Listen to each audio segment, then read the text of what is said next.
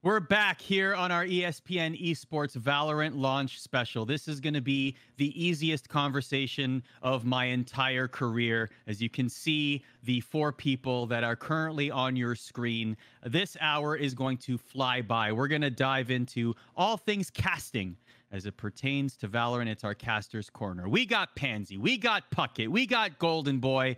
And listen, I know I like to call myself the host that does the most, but man, with the three of you here, this is going to be this is some esports heavyweight firepower that we're bringing to this stream. Thanks for joining us. Yeah, thanks, man. No worries. It's uh, a pleasure to be talking about a game that's been so fun. It's just, I think, taken the whole world by storm. And I think as a commentator, it's been one that no one can avoid. Everyone's had a lot of interest in this title. You all have had your unique paths uh, to get. You've all casted Valorant tournaments, uh, and you've all had unique paths to get there. Uh, Pansy, let's start with you. Obviously, uh, perhaps the most pertinent experience, having a lot of CS:GO in your background, transitioning to PUBG, now doing some Valorant tournaments. Uh, how has casting the Valorant tournaments felt? Like, what was the first tournament like as a caster? Uh, the first one was the T1 Invitational that I got to work with Puckett on, and um, I, Oh, sorry about the that. commentating. I did, honestly, it was good. No, I, I kid you not. It was it was actually a really nice experience. Um, I can't be mean. He's on the show with me, but no, like legitimately, it was nice to have um experienced hands on a brand new show and a brand new product like that because it can go wrong, and that's where you generally like having kind of more established commentators. But as a game coming from Counter Strike, uh, it was a very easy transition for me personally. I didn't find it too hard. I felt the game format was comfortable to follow. It was nothing new in that aspect. Yes, there's some differences here and there, but the game played out as I expected. Um, beyond that, I, I think every experience going forward has been a good learning curve and just kind of working with different commentators from various different games has been the most fun aspect for me technically i guess you know learning their different styles and applying it to a game that i guess traditionally has been played out for a while. It's search and destroy with a new look right Yeah, basically. I mean, you you you you brought a lot. I'm in that T1 Invitational tournament. You brought so much knowledge and information to it. Like it was really really well presented.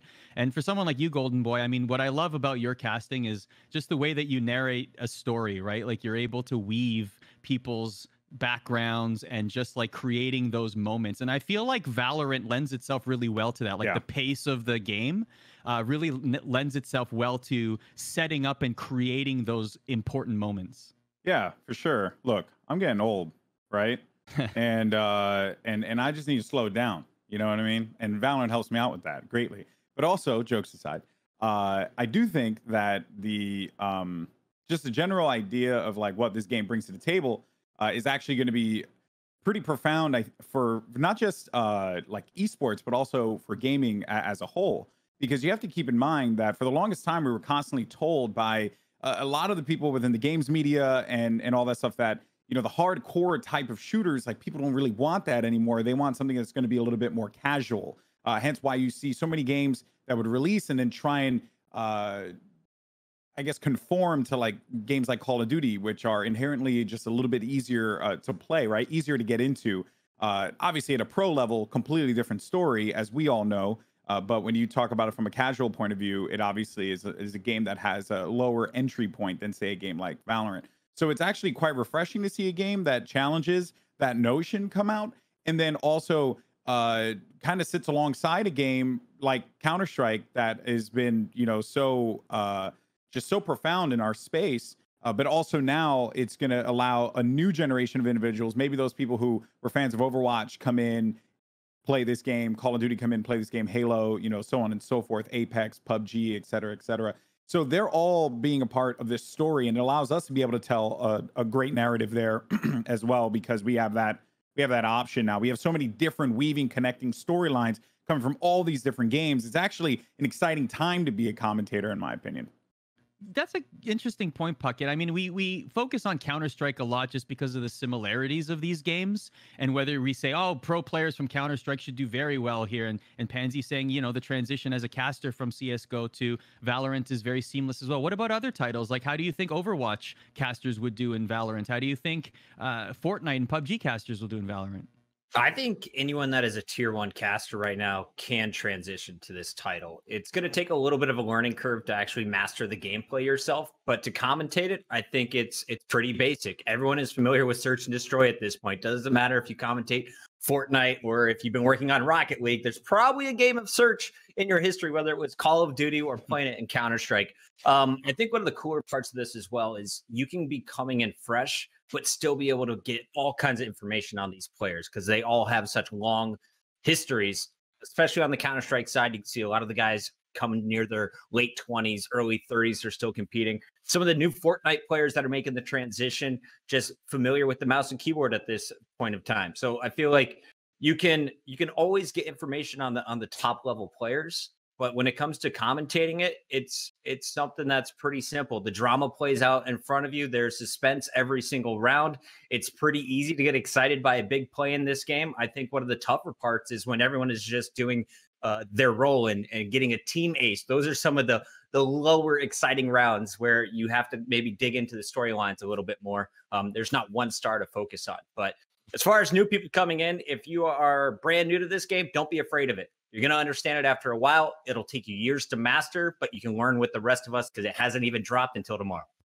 So, yeah.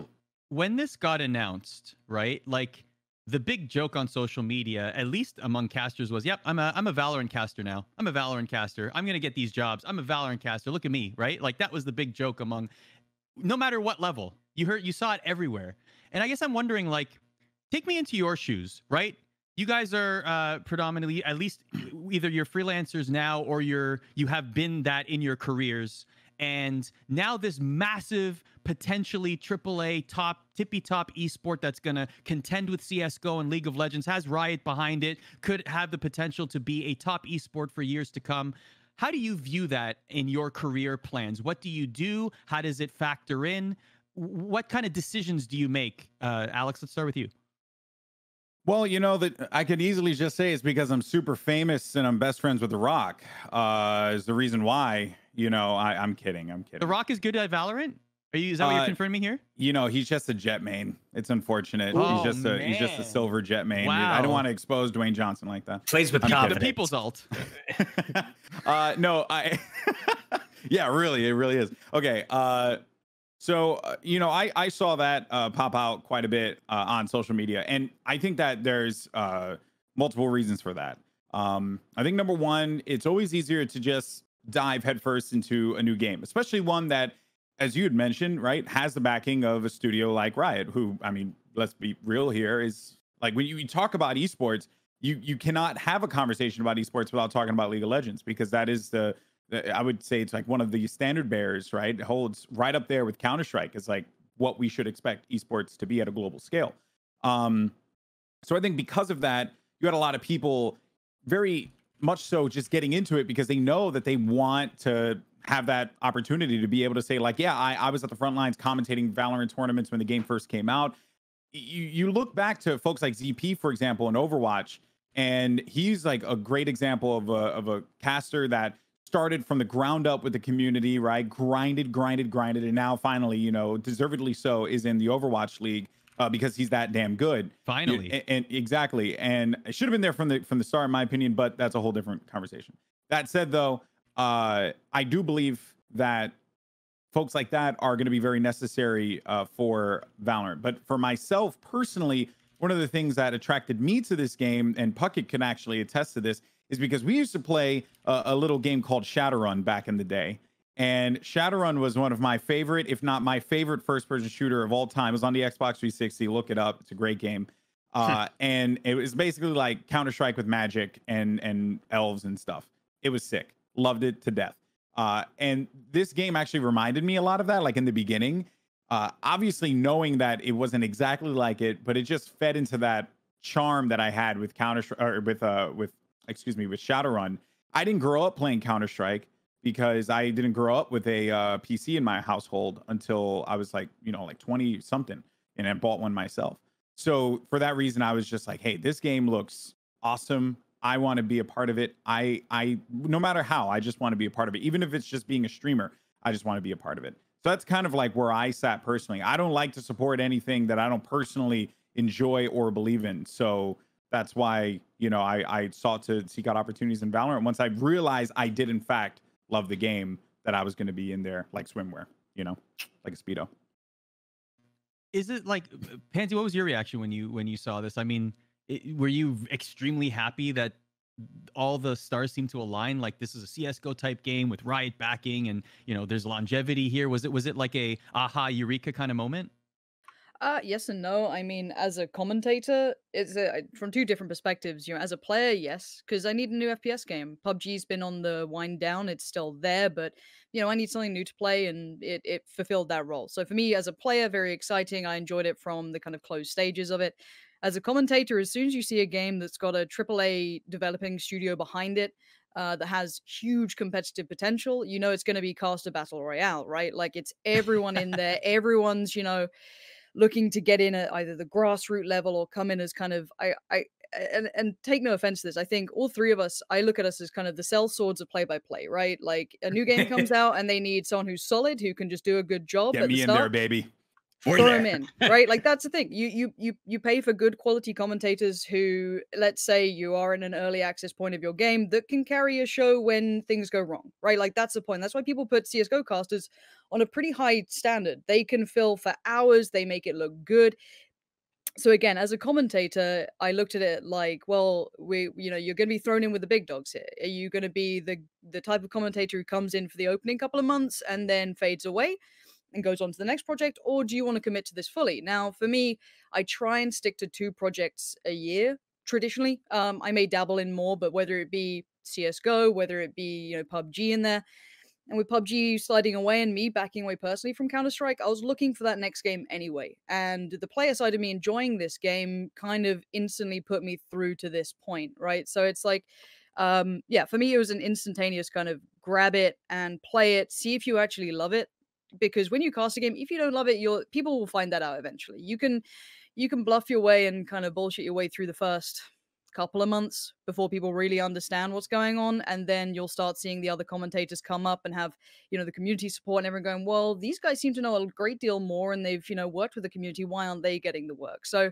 as said i think we'll see who sticks it out long term. I think i'm going to try to. I, i'd love to be able to do that myself. That's my goal for now but as I said, it there will come a time, there'll be a point where the purely Valorant casters will come up, and I'll be interested to see who makes it out of that pack. I think that's the one I'm looking at: is who's going to be the analysis for this? Who's going to come in and you know complement a play-by-play caster? That's that's what's kind of uh, my curious factor because, as I said, you know, Overwatch. I think they started off by getting all the big names in, and then slowly but surely people went. Do these represent what we like to hear, what we think? I don't know. There's some talent for sure, but maybe not one to one with the community. So I feel like, you know, it has to be a balance. You have to be very aware of that. And I, am looking forward to see the community side come through. But that takes time. That takes a hopefully a demo function in the game where these commentators can sit there, cast over a VOD, put on their YouTube channel, build up a community. These features help the community grow. So I'm I'm hoping to see a bit more of that. But yeah, for me it's it's probably gonna take up the rest of this year, hopefully. Hmm. Puckett, do you think where where do you think the best or the most longest standing Valorant casters will come from? Do you, do you think it's going to be long standing esports casters that will make the transition? Do you think it's going to be uh, new blood that's going to, you know, that loves this game and it's going to, they're going to see it as their first opportunity, their first shot to try and, and, and make a name for themselves and grind the community tournaments? Where do, where do you think the caster lineup will shake down when Riot introduces their official format? I think I won't be surprised to see a lot of names that are currently working within Riot working on the projects that Riot has deemed to be the the top tier level. Um, what's really interesting though is in all of the interviews, is you hear the reinforcement of we want this to be community ran, we want this to be kind of homegrown in a lot of ways in the early years. So I think you're going to see the Wild Wild West. It's going to be everyone working on as many shows as possible. And whoever's getting the most consistent work is going to get a lot of love from the community early on. And they're going to be kind of a step ahead of everyone. Um, but two or three years down the line, I think the people you're looking at ca- casting this game are the ones that are willing to relocate and to work out of the same studio as their co-casters day in and day out and that's probably going to require a relocation to la i would assume at riot's headquarters um, there's, of course, the EU studios that could exist and Asian studios. Uh, but at least for someone like myself, I'm understanding that I can get in on a lot of these tournaments right now for Valorant, and I hope to stay very active with this. But if I want to be doing it three to five years from now, I'm probably going to have to relocate to do it. So mm-hmm. I think the best people are probably ones that already have broadcast experience, people that pick up games quickly. Um, but the the the most loved members of the commentary crew are going to be the experts, the people that actually play the game day in and day out, that understand the little nuances that can actually teach the audiences and, and teach their play-by-play counterparts. What I'm really trying to ask here is how are we all going to grab that main host position away from Sjokz? Oh, it's already been done. Screwed. I'm kidding. I'm kidding. We're all uh, screwed. We're, no, we're dead. You know, though, I do think it's fantastic that we have so many people that are getting involved and uh, want to want to be involved. Uh, like for me personally, right? Like I'm using Valorant as an opportunity to actually uh, get better when it comes to my game knowledge, right? I I I cast a bunch of different games, right? Uh, the common critique and criticism, because it's like always the easiest one, is like Golden Boy knows nothing about video games. Which you know what, I may not know nothing about a lot of. You get that criticism seriously? Oh, all the time, all the time. Uh, it's it that and like a bunch of other layers of other things. But you know, we'll just push that aside for right now. The focus is like that aspect of you don't know anything. So I'm now like just investing my time climbing to uh, immortal in a game and in a genre that I've never actually uh, like played seriously before. Right. Like I again, I did not grow up playing Counter-Strike. So I did not know how any of this worked. Like all my friends and like I would play with Rivington and he would like know all these things inherently. In the beginning, I'm just like, I don't okay, this doesn't make any sense to me. Cause like I, I'm playing it with like a Call of Duty player's mind where, you know, I'm focused on like head glitching or jumping around corners and stuff like that. And this is just not a that's not a thing that you'd want to do unless you have like a you know a Bucky. Shout out to the Bucky people out there, Bucky all day. Uh, anyway, but I, I just want to improve upon that, right? So I, I'm excited to just dive into the mind of a pro player and learn a little bit more about how they perceive the game. And I watch a lot of the pro player VODs and I play the game and I aspire to play the game at a high level, get to Immortal. I don't ever think I'll get to the whatever the rank is now ahead of Immortal, uh, unreleased Valorant. name. Well, no, it's not no, Valorant they're changing anymore. It now. They're changing, they're changing it, the name. They're changing it, Bucket. It's, you can't be Valorant and Valorant anymore, Christopher. Okay. No. Anyway, Man. my dream is crushed. Uh, so yeah, so that's basically you know like how I'm approaching it, and I want to work on my game knowledge. So I think that if uh, Caster just comes into it with like a bunch of different ideas on how they want to like help improve and grow the scene. Like I, I think it's just a, a plus across the board, and that goes for veteran casters. Don't just rely on your name. You know, like actually put in some work, and and I think that this community will uh will reciprocate that back to you tenfold. Just, to, I, I, just, just want to quickly ahead, add on that real real quick. Just I, I think this is also such a, a, a poor hot take from the community sometimes where it's like play by play casters they don't know the game i think that traditionally in my role specifically if i'm commentating with someone like moses for example in counter-strike or you know an ex-pro player or someone who has not necessarily just the same knowledge but greater knowledge than me but they have the ability to back it up by the fact that they've been there firsthand and they've played at this level i want to set them up for success i don't right. want to sit there and say it with you know i could say the same thing technically but do i have the same credentials as someone who's played you know, at the highest end? No. So again, for me, I, I think people need to realize as well there is a difference between play by play and analysis. And yes, play by play does need to up their quality. Don't be lazy. Don't just say your same phrase over and over again. Don't just pretend to be a rap godcaster because you can't control your pace. Don't do these lazy things, right? Like we, we all want Reddit clips. I get it, but like let's push a little above that. For me, it's like again, uh, like there should be a definition between the two, but the audience needs to also understand that I'm there to set up my co-caster for these moments. You know, on those lower rounds where it's an eco buy or it's something that's not going to have too much hype traditionally.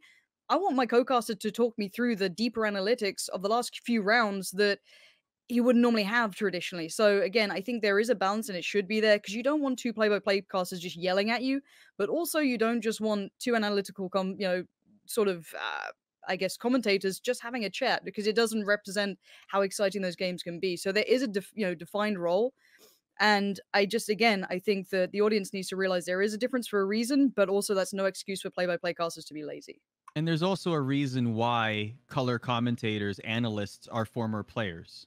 It, it- to mm-hmm. Pansy's point, right? The play-by-play position is very much a mechanical position, right? Whether it's sports, whether it's esports, any tor- type of competition where there's a two-man or even a th- two-person or three-person booth, that play-by-play position is the traffic cop, right? That's Yeah, the person yeah. that is setting the flow. That is the person that is of, oftentimes describing the action that you are seeing so that the color commentator, the reason why color is in that title is because they are adding value to what you are seeing, drawing in with the color what you may not see at first.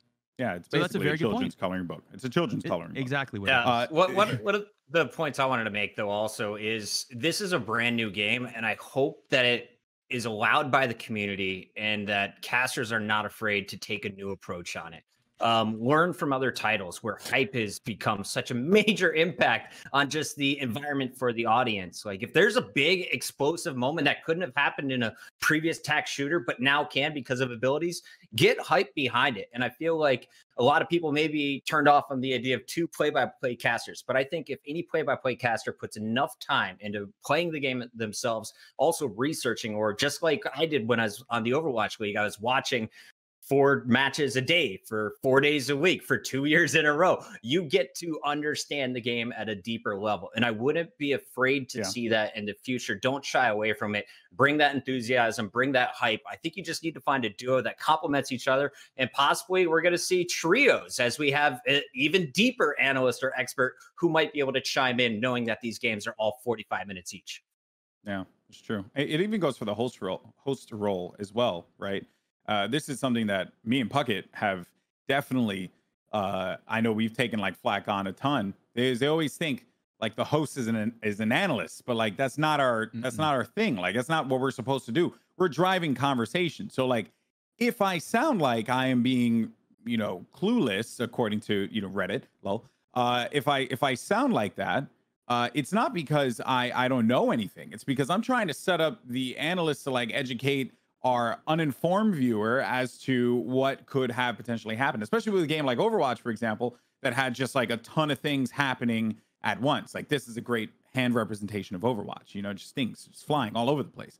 So that is it's very easy to get kind of caught up though. It's very easy to get caught up in like what the hell's going on. Even in Valorant, as much as I love Valorant, you if you look at an overhead view of Valorant and you see like uh, a Viper smoke go down, right? Uh, and then you see Brim smokes, or you see an ice wall, and you see all that, all the all these different matte colors just combining in one. It honestly just looks like a really really bad painting. And you just have to try and like educate the viewer as to like what specifically is going on here and there, and you have to try and like separate that. But as a host, you have to spoon feed it to the analyst because you're you're going to get them to that place. It's just a conversation. That's it's really all it ever is. It's just a conversation. It's funny in esports more than anywhere else I've found that if you are doing that job, the host and play by play in particular, correct, you're going to get the most flame for it, it for the reasons that you just mentioned, Golden Boy.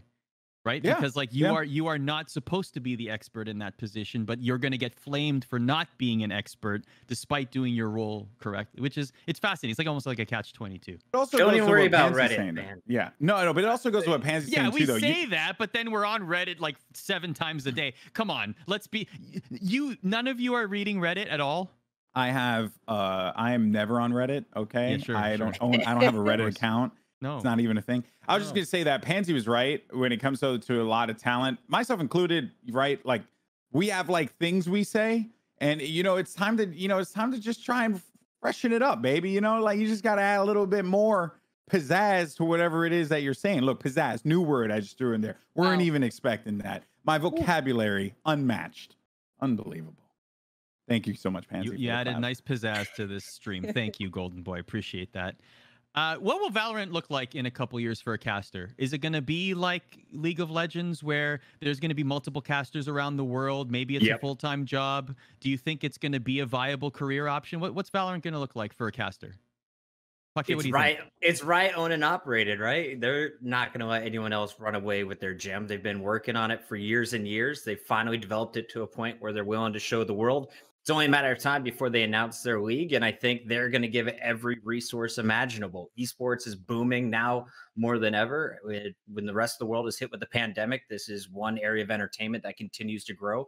And I think looking forward two years down the line, three years down the line, I definitely expect full time commentary jobs. I think you'll see a team of about 10 probably in North America, similar numbers in Asia as well as Europe. And um, I, I hope that we're seeing a worldwide league of some sort with a lot of crossover, a lot of land crossovers, more than what we have currently. Yeah. That's encouraging, especially for people that want this to be their full-time job, right? Like that's that's very encouraging for that to have that many positions because like truthfully, how many full-time jobs for casters are there in esports? Realistically. Minimal.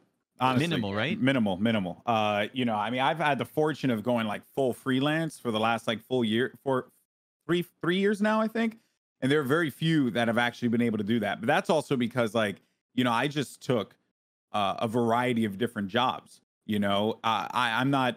You go and put me in a situation where I got to commentate CS and then put Pansy there. Pansy is one of the best to ever do it, mm-hmm. and she and, and and she'll just run circles around me. I'll just sound like like an idiot you know, most times I am, but like I just have to be very cautious of the fact that I'm not good at that. So I'll do the stage hosting job, you know, because there are smarter minds like DDK or, or Pansy or, or James Bardolph, Anders, the list goes on and on. And Counter Strike, I was asked a while ago to cast Counter Strike, and I was like, hell no, I'm not going to do that. I'm, I'm not, not, doing that to myself. I ain't crazy. You think I'm crazy, bro? You know, so that's. I, I, I just there isn't a lot. There isn't a lot of options, right? So I think a lot of casters need to be mindful of that and don't and I say this with truth, don't quit your day job. I worked as a social worker for many years mm-hmm. before I got my first full opportunity uh, to work in esports. It took me a long time and I was unpaid. It's different times now, but it's it still holds true. How much do you want Valorant to be part of your plate, either in the next year or even if those full time jobs were to present themselves? Let's go around the horn with that, Pansy. Um, I think timescale is going to be a big thing for me. So I still want this year to have you know PUBG focus on it for me. They've I've locked in a good couple of events with them. I like to traditionally stick to, you know, I I don't like to hop from a game straight away if I've committed to it. I want to try and close it out, you know, quite well rounded. So I think it'd be a 50-50 split with me. I'd like to put a good chunk of time because that's what I play in my own time right now. Is I I play Valorant well when I can. Right? It's it's that sort of thing. So ideally i'd like it to complement that that i'll pick it up when i can.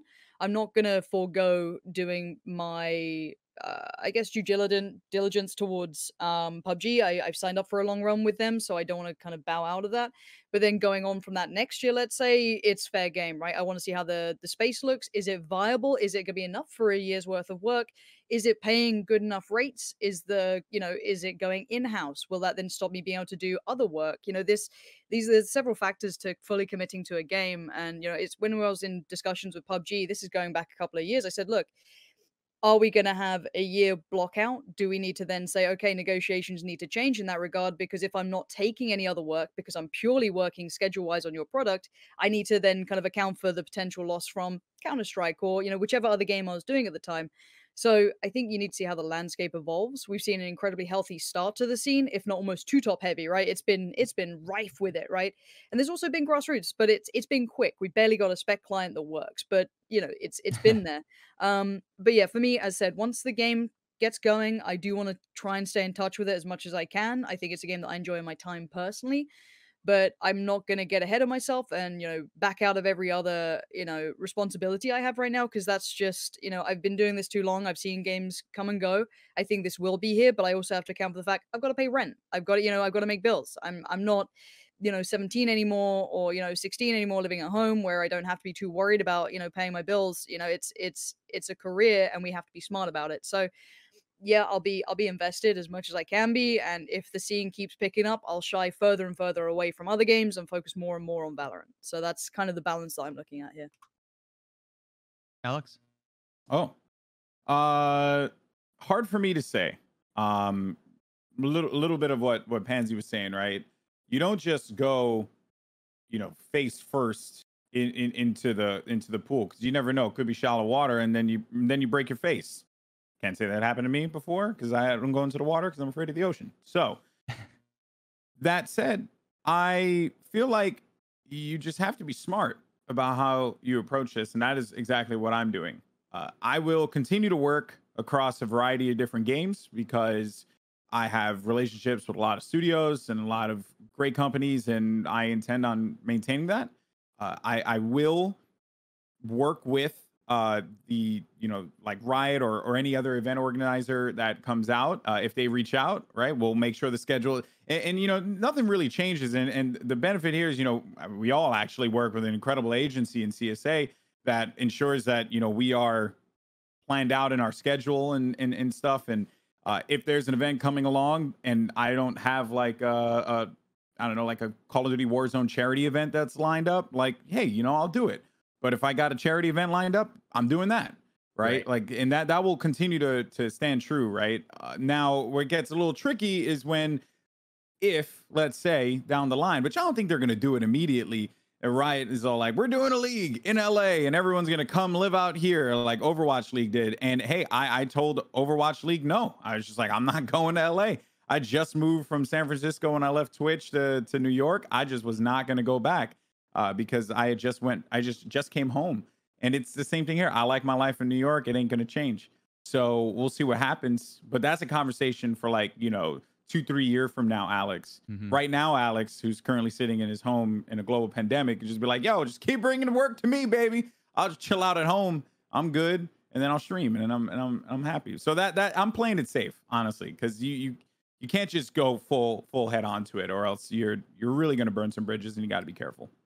It's nice that usually I'm the esports baby in any kind of conversations like this. Uh, with all the wealth of experience that you all have. But as it pertains to tenure at CSA, at least I'm not the newest. So that makes me feel very good. So shout out me? to Puckett and to Pansy as well. Uh, I don't know. Am I the Who oldest one? Was it? No, you did. Oh, uh, by like miles, yes. Yeah, what are you at like 20 years now? I don't 20, know. 20 years with CSA. there you go. Andrew and Kurt have been doing Shout this for way too long. Andrew and Kurt. I don't. Yeah. Anyway, uh, but but so Puckett, like what about like that? It's it's a fascinating topic for me, honestly, because these jobs will come up. It's it, to yeah. me, it's almost a foregone conclusion that we're going to see these kind of jobs come up, and I wonder if those are going to be the most coveted or the most lucrative positions that will become available. League is so established at this point, right? And when you see these new positions open up, whether it's the old guard or whether it's people clawing and, and scratching uh, from the amateur scene. Like I feel like there's going to be a wealth of people gunning for them. Yeah, I honestly think that the new dream job in esports is the streamer content creator. I don't think it's the commentator anymore. It used to be that way, especially early 2000s, even early 2010s. I thought that the commentators got all the love. I think if I was 20 years old and I was hitting the reset button, no marriage, uh, no other distractions, it was purely me face down Ooh. into the work. Yeah, poor, poor choice of words here on ESPN. Sorry, sorry, Molly. I love you. You're the best. Not a distraction. You are the uh, focal point of my life every day. Sure, sure. Um, sure. Yeah. All right. So back to this. I would I would be the guy who is doing live watching sessions uh, with the rest of the community, tuning into the matches. Um, I would be the one making the highlight videos, making all the content, and then also streaming before and after matches. I think that's where I would spend most of my time if I truly love Valorant more than the teams or the player storylines that are in that esport. Yeah. Um, it, it is exciting times that you know this is this is definitely going to be a position that anyone could have in the future. I think any of us casters though we've been around for a decade right? We know that all games are going to have their peaks they're going to have their valleys there's always a lot of excitement at the forefront but that's also where you're going to run into the most competition. So if you want to go full force into valorant just be ready to go to battle every day. Be prepared to do a lot of volunteer work. Be prepared to um, be making side content and not getting paid at first because I think there's going to be a lot of competition, a lot of people taking lower rates that you might not be able to live on uh, in the first year or two. But for me, Arda, you ask like what everyone wants to do, how much of their plate. Yeah. Valorant is the game I'm playing most. When I was working on the Overwatch League, that was the game that just had me glued. Um, for the first two years, I was on it every single night. Valorant has me that way right now. On top of that, we're doing a lot of uh, Warzone tournaments, a lot of different battle royales, and those are fresh and fun every single time. And a lot of them have been for charity. So I think, like Golden Boy mentioned, charity events, those have been kind of our, our favorite ones to work recently. We've really enjoyed the challenge of Valorant, but we probably don't have the same amount of time that some other up and coming casters do to purely focus on one title. Yeah. Okay, yeah. let's let's give some advice to those up and coming casters then. This is a wealth of knowledge here, right? And all three of you would not seem out of place on any esports broadcast. There are a lot of people watching right now that might be aspiring Valorant casters that want to give this a shot, that want to grind, that want to put themselves in the best possible position to be ready to at least apply for these jobs or to try and try their hand doing commentary on an upcoming tournament in the next upcoming months. So, Pansy, starting with you. Someone's watching, they want advice. What what would you give them? Uh, outgrind the next person, right? Like, uh, make your own content.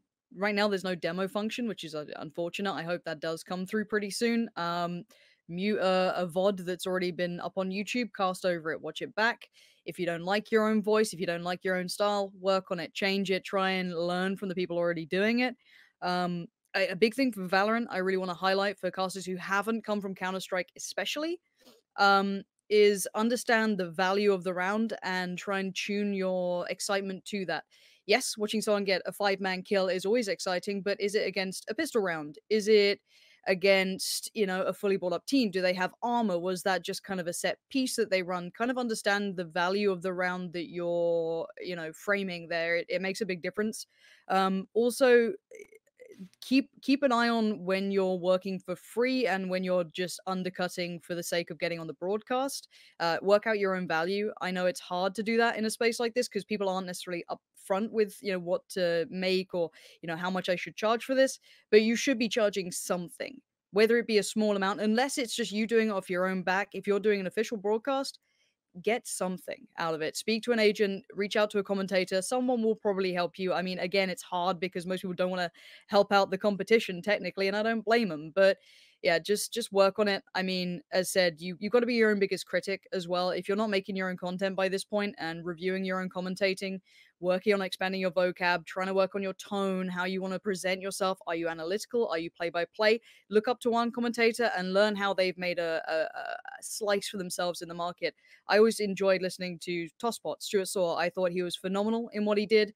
I basically copied him for the first two years of me mm. casting when, you know, the scene, there, there wasn't a professional scene at the time. So it was all me just at home with Winamp, just doing it for the 10 friends that would tune in and listen. Um, but again, get get ready for a grind. It's it's not easy, and people aren't always your friends as well. You know, this is a competition. Yeah. This is this is it's going to be hard work, and you've got to be willing to to kind of graft harder than anyone else. As said, you know, there's big names in this. It's a big title. Um, but there is room. There is room for these kind of you know grassroots commentators to find a niche in the market and represent the community. I think that's the big thing. Find that place in the community where you can be the voice for them, but you know, you know, polish it up, tune it up, make it broadcast friendly, make it exciting for your average viewer. You know, try and transition that, and you'll find a space for yourself. So there's yeah. definitely room out there, but you've got to work super, super, super hard. On the friends point, you know, we seem like we get along on this stream, but we actually hate each other. Brutal enemies. Yeah, like, yeah. like, yeah. Arda hates surprised. cornflakes. It's a big problem. we we have. Don't yeah. even get st- that's a whole other hour. a whole ESPN esports stream about me. me and you and and cornflakes. But oh we'll save word. that for another that's time. After dark, okay? boys. After, exactly. after, dark. After, after dark. dark. After one dark. thing, actually, one thing Pansy mentioned, uh, which is really interesting, is like managing your excitement during a stream. So, Puckett, Golden Boy, you guys did the T1 stream, right? And that was like what, like eight hours, nine hours of constant streaming, right?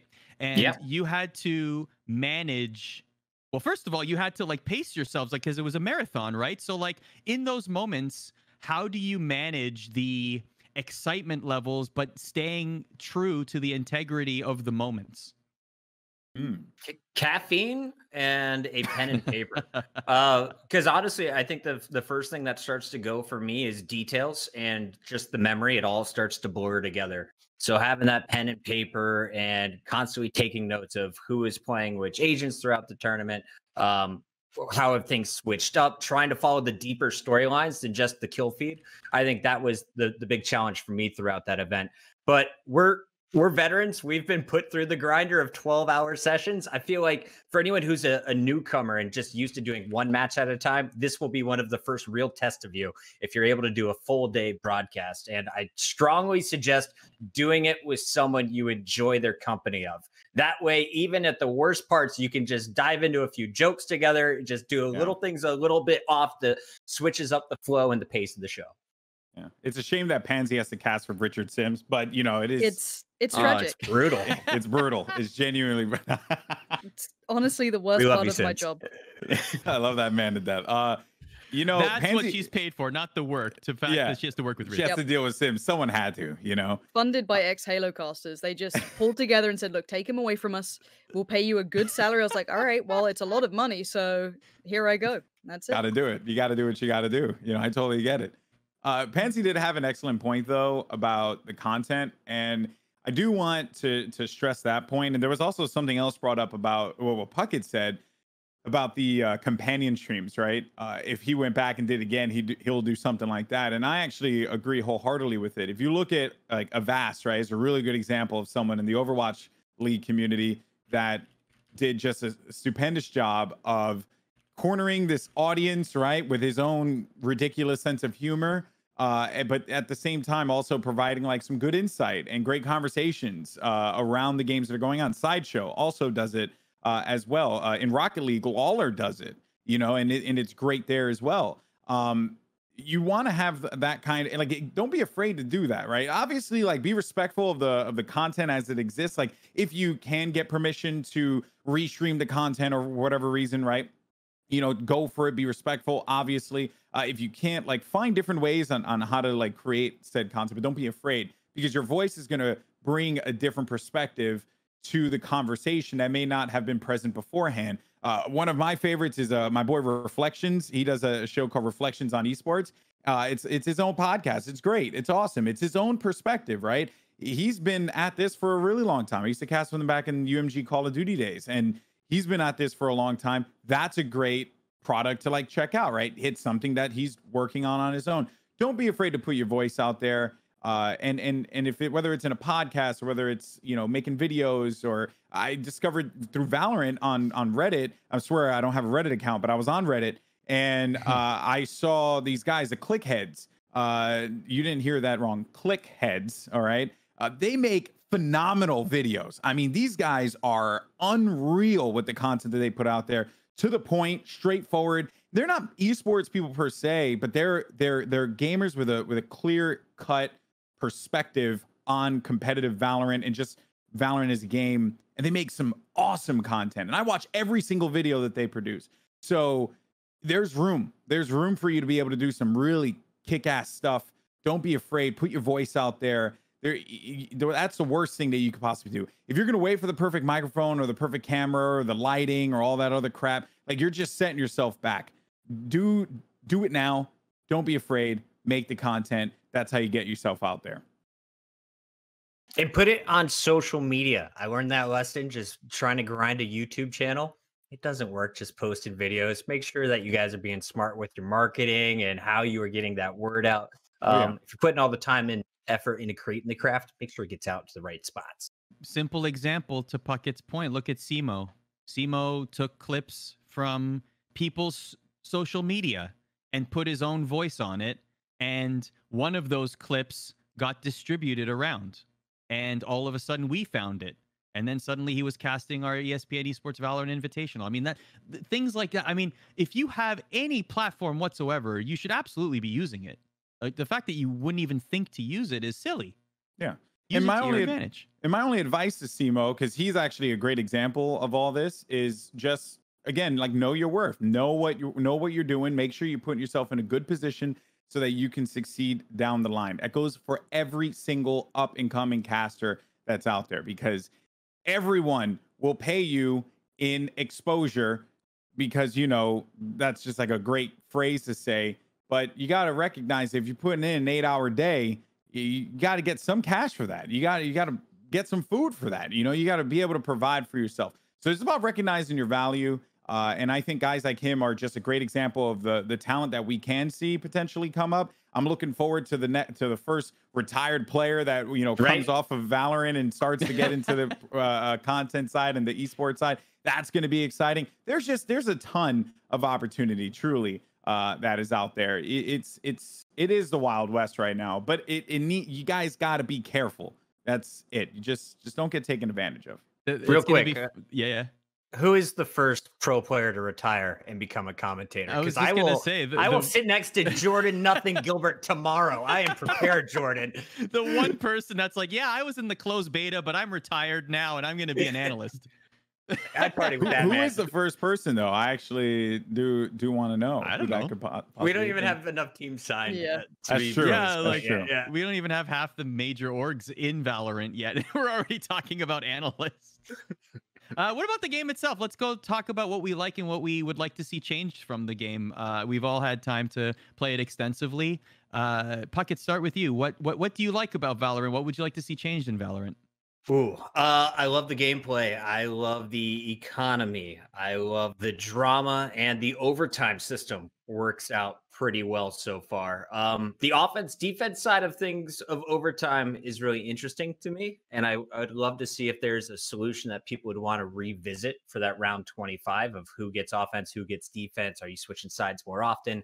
Um, I, I think in general, it was awesome to see it improving with every single patch, with every week going by. I felt like I was learning a little bit deeper about the game. These small issues were being tweaked, armor penetration, uh, just the the strengths of the weapons. I was understanding them more. And towards the end, people were flying around the map on Raze. And I feel like that's one of the coolest things is we still don't know how these agents are going to be used in six months or what is the the best way to play these these folks. I think the number one thing that I'm looking forward to changing though is the UI and the spectator HUD. That's clearly not something that was a priority in the betas, and for good reason. It was bare bones enough to get a good production out. You could still follow crazy grenades and and Yeah. shock arrows at times, but there's going to be more, and there's going to be way more layers to put onto the production side of things. So I think that's where I'm most excited is to see once this game is released and once more agents and some new maps are out, how can they triple down and uh, and really put the focus on giving the best spectator experience on what is already a very exciting game to watch? Yeah.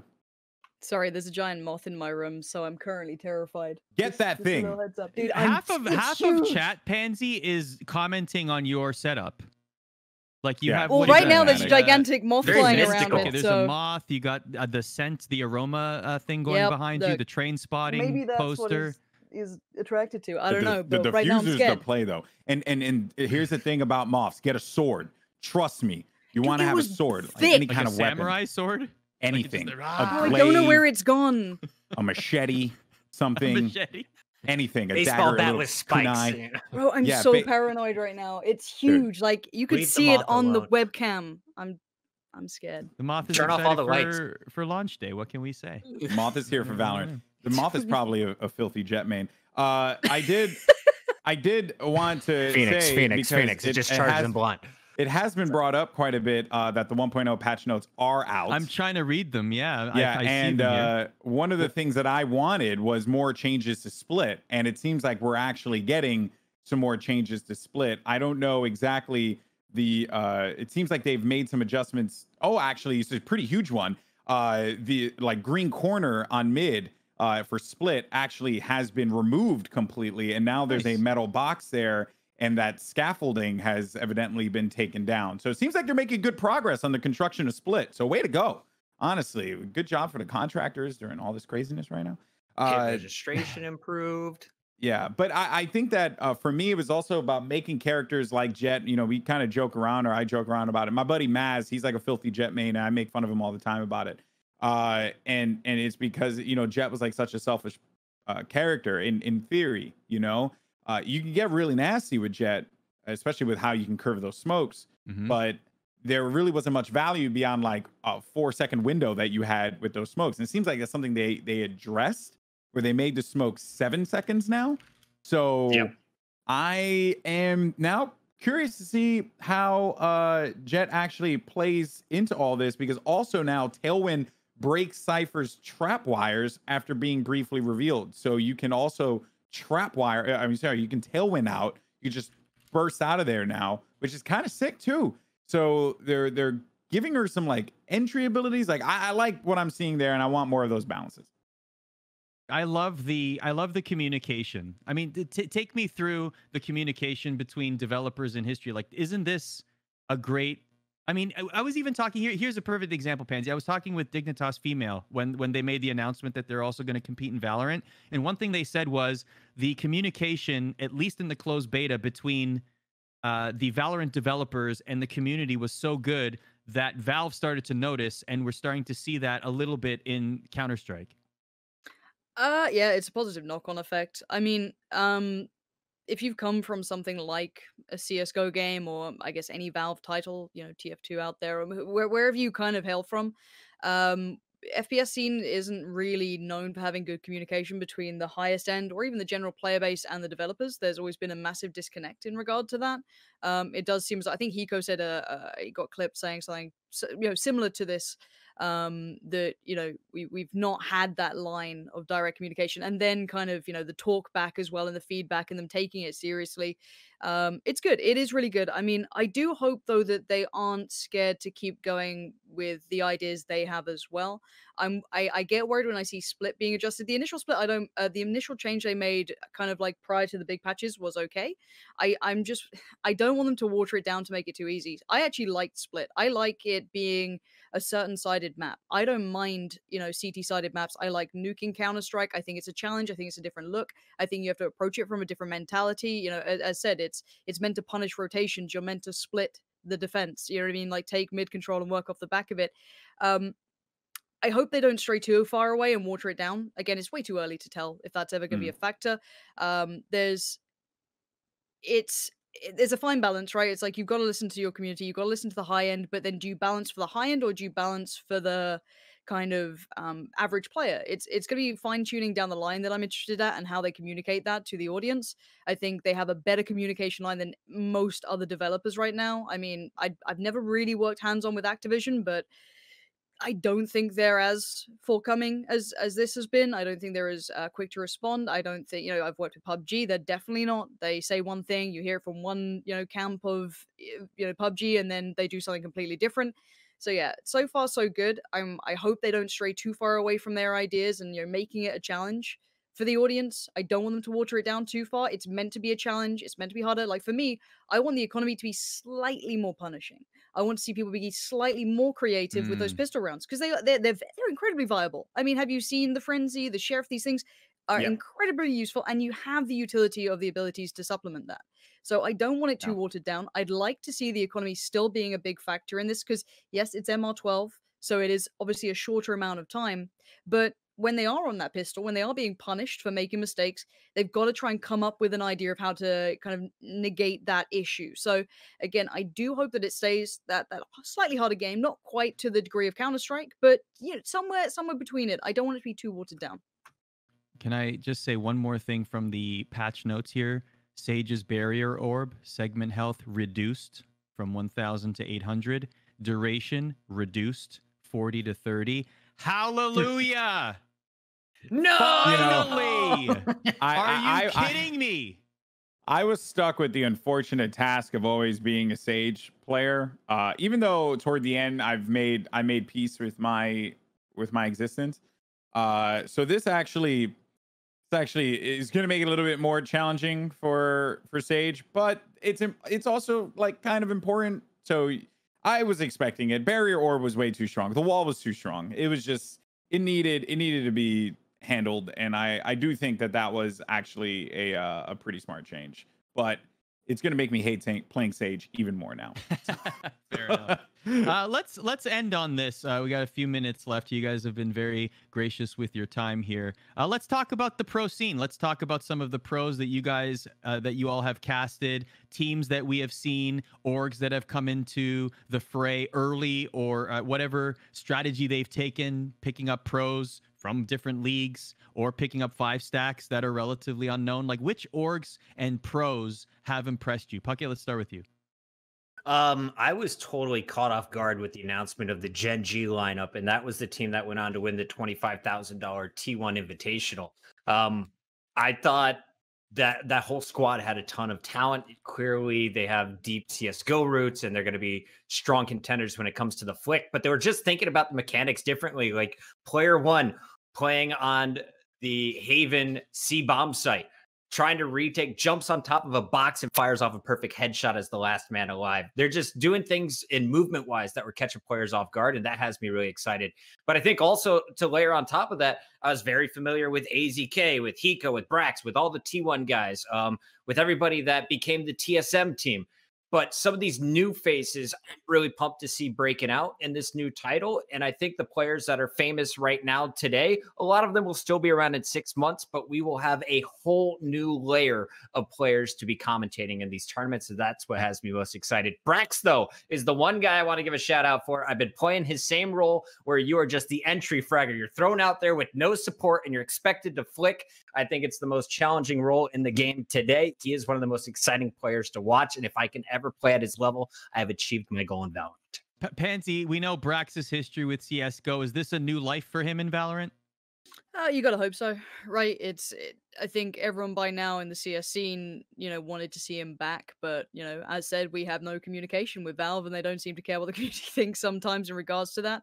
Um, and that's fair enough. But yeah, I think it's an exciting prospect to see what he can achieve now that he's been kind of you know let off the leash as such, and it's it's time for him to come good on the prospect of him being that tier one player that he could be. It's a lot of pressure for a young man. I mean, it's as much as yes, he is incredibly talented, the mental state he's going to be in. I mean, he's come in and he's going to have to now perform with everyone watching him, everyone knowing that he's you know this is his second shot at it. He's got to win it out now. I mean, that's that's more pressure than most people are, are going to be put under to perform in this. So I hope for him he's he's he's ready to take on that challenge. But it's it's very exciting as a commentator to see him back in the in the fold. Who are some other teams that you have your eye on? Um, for me, EU wise, uh, Fish One Two Three, obviously, um, Mm. super easy to kind of go to them. They're probably the team that I don't know why there's no orgs picking them up yet. It's ridiculous. I, I hope it's because they're actually trying to get their value out of a contract rather than just there being no interest. Um, I like the uh, 2-4-GL guys. It's a Finnish team made up with very old COD 4 promo players who played in a couple of other games after that, but never found their game. So this could be a very fun one. They've certainly come up head to head with the Fish 123 roster and, and done pretty well. Not picked up too many wins against them, but they've been competitive. Um, and in NA, I, I obviously it's easy to go for you know, your Gen G, your T1. I want to see High Grounds do well. They're a PUBG team. They're hungry, and you know a lot of the CS old guard are definitely counting out PUBG players and you know other game players coming in. You know, I think they're starting to work out. Okay, Overwatch players have some ability there, but some of the other game players don't quite get that same level of okay, these guys are a threat. So I want to see the High Grounds guys do well as well. Nice. Alex, what about for you? Uh, yeah, I'm actually uh, looking forward to see what comes out of the Asian region, uh, especially when you got teams like Detonator and Nora-Rengo. Like these are uh, Nora-Rengo's got a, a pretty solid Rainbow Six squad, and I think that they are going to be like, you know, I, I, I think it's just a region that in in a game like this we've seen, we've got glimpses of, but then with uh, PUBG and with Overwatch, like kind of you know blowing up, especially I remember the narrative was like, ah, you know, the, in, in the Asian region, they don't they don't care about shooters. They're they're playing, you know, MOBAs and stuff. Uh, and then that was just proven like not to be true at all. Uh, evidence of the Overwatch League. So I am excited to see what happens there. Like, w- does this Pine, for example, decide that he wants to compete in Valorant? I would love to see that. He could be filthy, you know.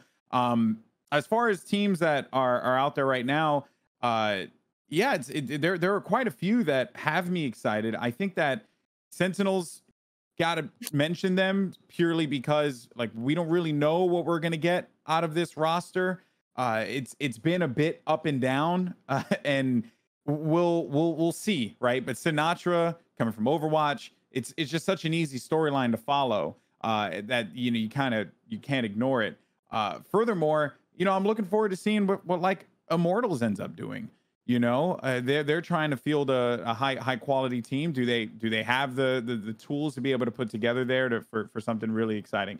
So yeah so you know kind of hard for me to to, to point out uh, but i do want to give also another shout out uh, to, to force as well another rainbow six team uh, that is you know here looking to well i know them mostly from rainbow six. Uh, i think they might have a counter-strike team not too sure but uh, yeah i'm looking forward to seeing what they do as well. So what's interesting is that we have already a very global presence here. And I know that first Valorant global competition is going to be fire. Like legit the most dope tournament you could possibly imagine when you get teams competing from all around the world. It's going to be so good. I can't wait. My So body's good. ready. My heart's ready. I don't know if my heart will make it because I'm old, but it's gonna be tight. Let's do this. You're not even the oldest person in this room right now. Well, you know, I've been married for 10 years, so I That's feel like true. I'm 50. Okay. Fair So enough. Fair get enough. outta That's a here. good point. That is. Don't you do pull a have years Puckett. Say me on the nice things. Don't Yeah, pull a let's- Puckett. We Chat, love by the our way, was wives. Our chat wives was are the uh, best. chat was like, "Oh, Puckett better be careful. Puckett better be careful." Anyway, Oh my gosh, is that a Metallica shirt, by the way, Pansy? Am I just seeing that for the Yes, first it time? I'm sorry. Oh, It that's amazing. That's outstanding. I love it.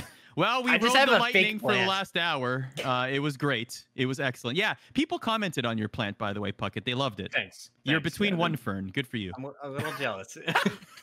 no one commented on Master Chief, bro. Come on, man. Halo 2020. Let's go. We're looking This at is the not purple a cube. Halo 12-hour live stream, Golden Boy. Okay. silence, swine.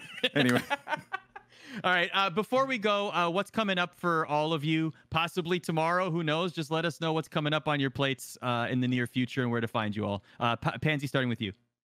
Um, there might be some Valorant coming up soon. Um, we'll see. Can't say obviously too much uh, until things get announced, but some exciting things coming up for Valorant. Still doing PUBG stuff, and obviously, um, I'm on the Do Not Peak podcast as well, which is um, Valoranting is the version that they're running, Nice. which is Moses who's hosting it, and I get to come on and kind of be a guest and grill whoever dares to come on. We've had some really nice guests, and it's been really good fun. So yeah, that's kind of on the plate for now, and it's been super good. And um, yeah, before I go and find this moth, I want to say thank you, obviously, to the, the audience, the community who've been super supportive and super fun in Valorant so far. It's kind of been refreshing. I've uh, I've definitely enjoyed it. So that's what's coming up. Well, shout out to Sir Scoots, uh, who also does not like cornflakes, Alex. Old man Scott. tired. Strong You know what? opinions. Smart people. Whatever, dude. Puckett, what's on the docket?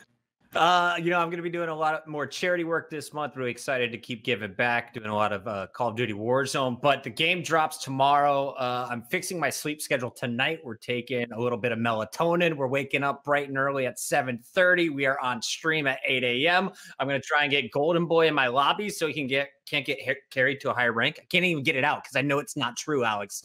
Um, but I was I was dead set on beating Golden Boy's rank by the end of the beta, and I couldn't accomplish my goal. So I'm coming in fresh. I'm training all day tomorrow, and then I'm trying to get Alex to carry me when rank actually comes out.